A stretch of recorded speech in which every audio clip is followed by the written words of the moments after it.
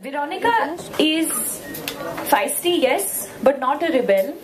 Um, she's a girl who's grown up in sort of a broken family, so she's not had the conventional love of, of parents while growing up. She craves attention every now and then. She knows when she walks into any place, uh, be it a restaurant, party, anywhere, even if she's just walking down the street, she knows that people are looking at her because she gets that kind of attention and because that's the kind of confidence and personality that she sort of gives out.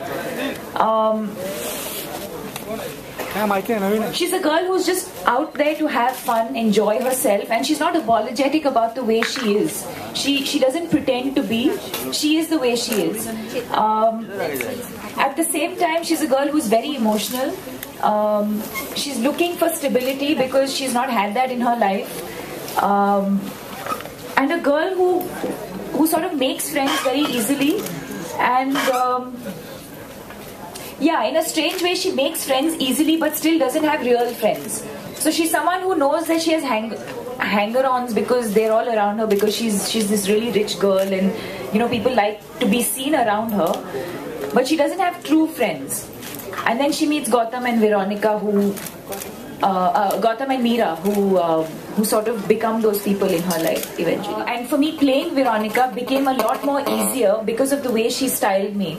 Uh, so while while a script and the character and the way the character has been written by a writer for a film is very important, um, it's these external things also that add to a character's perform to an actor's performance. And I think she's really helped me um, uh, you know, with, with that. I wish it was so easy and I wish it was all just natural and I think the Indian body type is somehow not uh, suited uh, for a bikini. So I think we as Indians have to work a little extra hard on our body if, if you want to carry it off. But um, seriously, I mean, I, I, I, I changed my workout uh, slightly. Um, basically I just had to sacrifice going out for dinners with Dinu. Every time he decided to take the entire cast out, I would just sit in my hotel alone and uh, and eat steamed fish and not have any dessert.